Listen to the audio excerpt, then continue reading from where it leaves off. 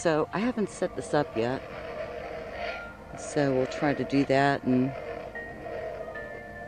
maybe do a fast forward here. I don't think the uh, video portion here is going to pick up very well, but over to the lower left would be Saturn and uh, Jupiter is about the only thing I can see on the monitor here.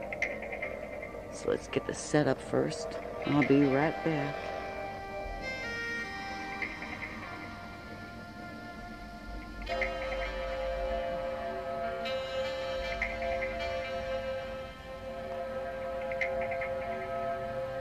Okay, there's our alignment. Let's check our settings first. With the ISO up real high. But that's so we can see the moons of Jupiter.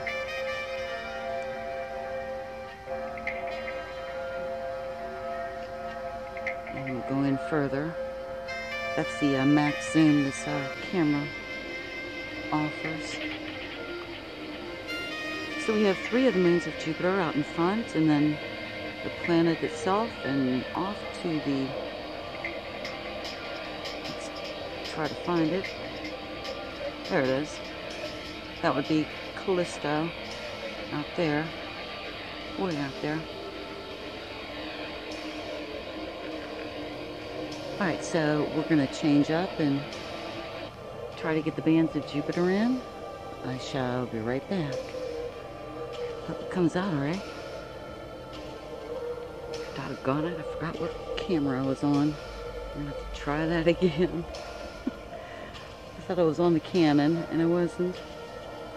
Alright.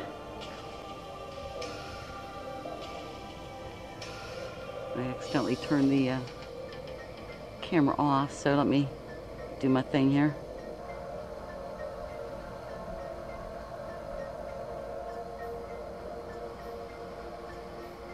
Okay, so there's our settings. And we'll turn them off.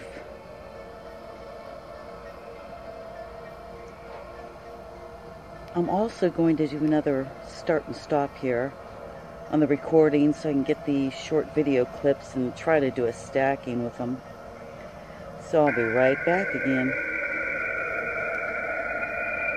Alrighty, I'm back with taking those out short video clips for stacking. And we are in the Nikon P1000 camera tonight, recording onto the Atomos Ninja Flame and using the Skywatcher telescope now to track the planets. Now the only thing I can see in my sky is uh, Jupiter and barely Saturn. So we're going to pull back. I'm going to change it to ISO and try to get like Saturn or the trees or something, but so we're going to have this mount take us to the general area where Saturn should be. Okay, so uh, that one lone light up at the top right is Jupiter. Bottom right is uh, somebody's security light. And there we go. We have a little triangle there with a couple stars with Saturn.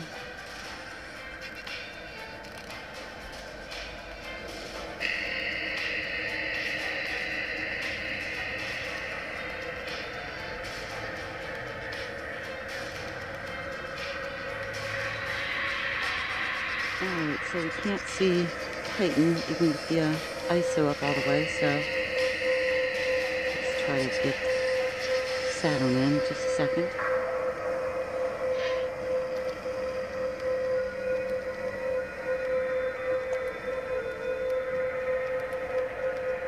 Alrighty, there we go. I'm going to take a few short video clips so we can just stack in and I'll be right back. Okay. And we're back again after getting that short video clip. I did take some pictures with the uh, Canon 80D right before using the Nikon oh, for the video portion. So um, we'll probably put those pictures in here too. But that's to be it. The moon hasn't risen yet, or if it has, it's not above my trees yet, so. And there's nothing else shining out here except some lightning bugs. and these two guys, not in my sky, that I can see by eye, so. So it's a really muggy night over here. Not surprising with the storms blowing in from the Gulf. And it is uh, summertime too, so that makes sense. Try to get both the planets to show up, and now I can see Saturn on the monitor, but when we go in the house, I have a feeling it'll be too hard to see. But anyway, that's going to be it for now. It's now 9:49 p.m. up here. And I'm going to wish you all a wonderful night.